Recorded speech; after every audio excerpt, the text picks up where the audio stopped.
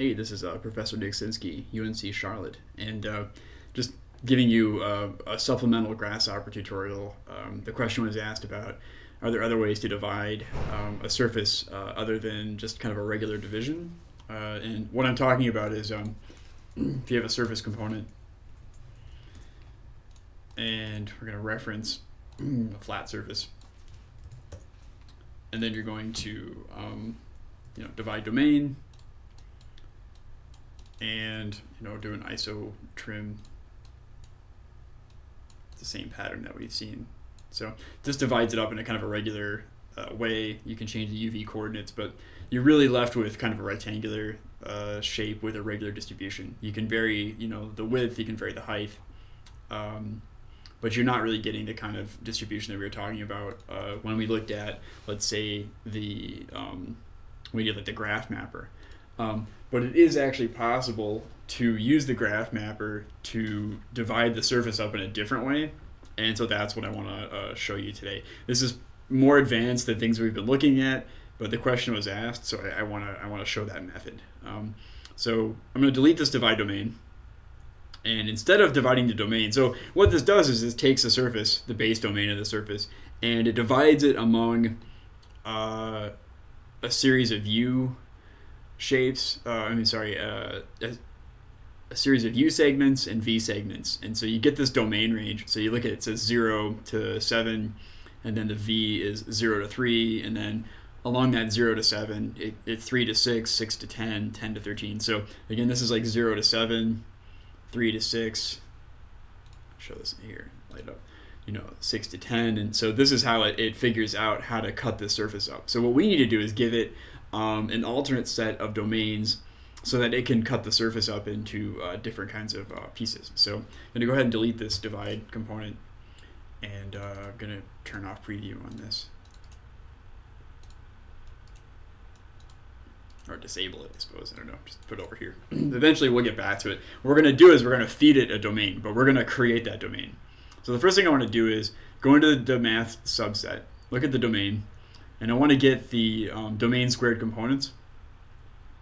And what this is going to allow me to do um, is actually take this surface and I can see now what the domain is. So it goes from 0 to 78 and 0 to 33. So it's 33 high, 78 across, okay?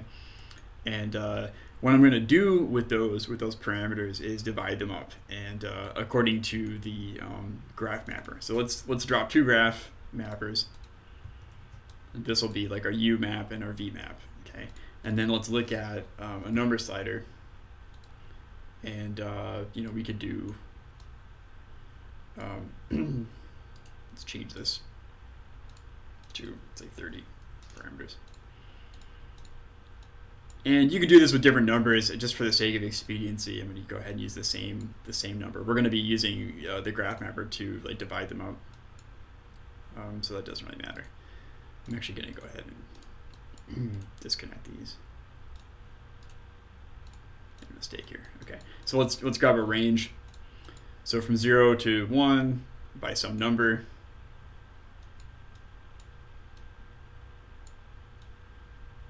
Okay.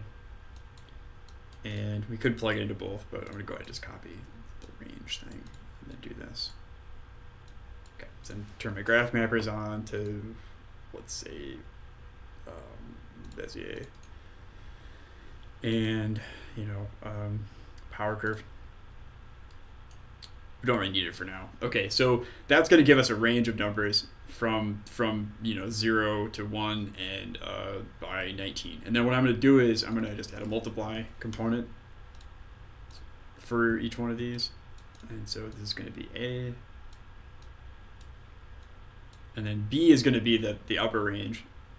So the U and the V.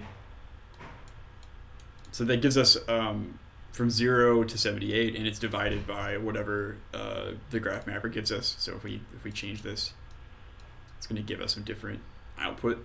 So this is going to give us that. And then what we want to do is put these back into um, a domain. And again, a domain is, is, a, is a range, you know, 0 to 78, 0 to 33. And uh, if you remember when we had our actually, let's go ahead and put that in just so we can see it. So divide domain squared. You can see our, so we had these batches of things and they're kind of split up. So if you look at the v coordinate, it goes 0 to 3, 3 to 6, 6 to 10. So that 0, 3, 6, 10, 13, 16, that's what we just created uh, by multiplying the graph. But instead of being regular, it's now irregular uh, according to this curve. Okay, so we're going to do that, and we're going to create a domain now. So uh, we take a, take that domain, and we're going to plug um, those back in. And so we've got um, start value uh, and an end value, and uh, so we're going to plug in start values. And then in order to get the domain, we're going to actually we want to do this pattern that's like the previous domain plus the current domain. So 0 to 3, and then the next one starts with 3 to 6, and then use 6 to 10. Okay, so what we're going to do is take a list and we're going to shift it. So we take the list and we're going to shift it by 1. So if I plug this in, my list starts off at 0, 1, 3, 6. If I shift it, it's 1, 3, 6. Okay, so I've shifted out that 0. And if I plug this in, to domain, I get my 0 to 1, 1 to 3, 3 to 6. So that's actually a lot like what we were doing up here with divide. Okay, so go ahead and copy this. Plug in um, the structure, plug that. So I've got my U domain and my V domain, which are now, you know, which have been changed.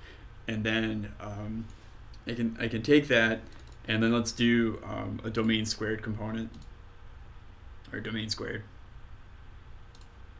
So now I'm going to take these as u and v, and that's going to create a domain squared. So plug in the u, plug in the v, okay, and then I've got a domain. Okay, so let's go ahead and enable this and plug this in. And we've got this this pattern, and so you can see that we definitely have uh, this kind of pattern in this dimension, and got a pattern that's happening in this dimension. But what's happening is it's not actually getting filled in, like that surface if I turn this off, it's not filling in the entire surface. Okay, so we've got some bugs that we have to look at.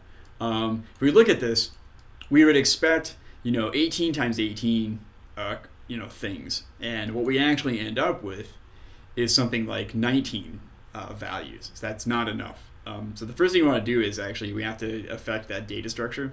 So we're going to graft the um, either the V or the U domain. So just take and then right click and say graft.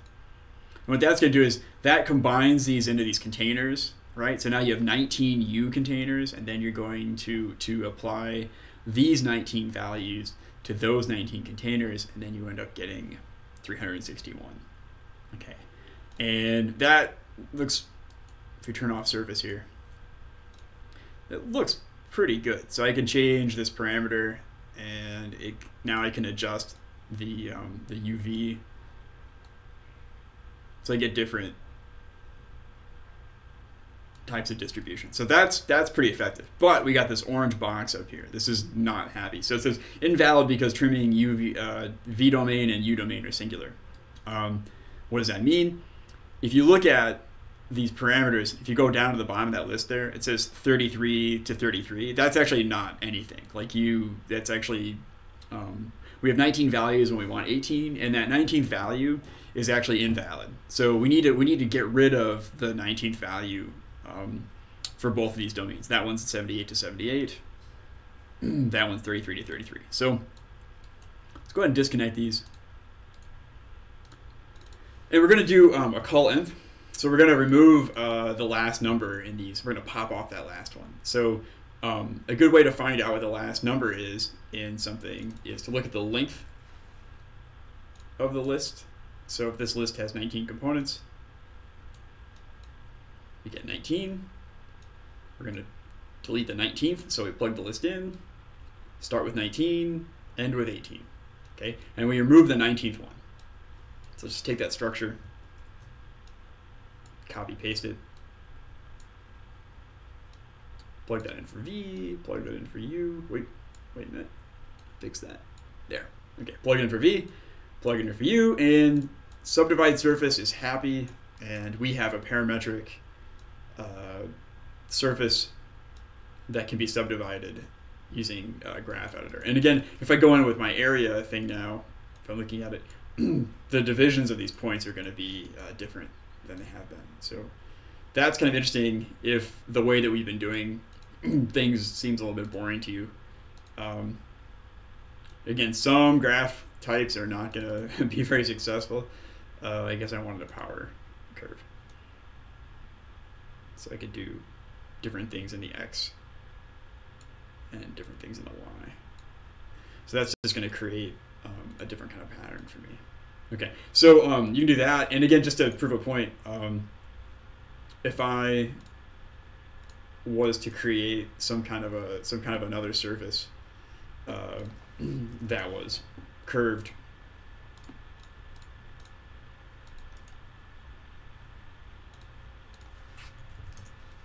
Oh, I've actually got one. How about that? Okay. So if I go through and I'm going to, so I have a surface and I apply that to it. Same deal. I can go through and I can distribute the geometry according to an irregular surface. Okay, so that's one method, and I'm going to come through and I'm going to show um, another method. Um, I will probably um, post this definition as well. But uh, so again, our the key is that we we have to divide our own domain, and then using a little bit of uh, logic, like basically um, sort out those parameters uh, according to this curve multiply them by the domain of the surface, and eventually we end up with a new set of subdomains, which we then use to um, divide the surface. Okay, I hope that uh, answered the question. Uh, if you have questions, let me know. I will uh, see you next.